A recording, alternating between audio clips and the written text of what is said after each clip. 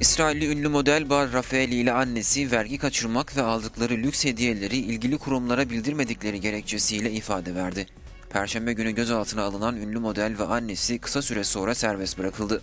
Bar Rafaeli ve annesinin 6 ay boyunca yurt dışına çıkışının yasaklandığı bildirildi.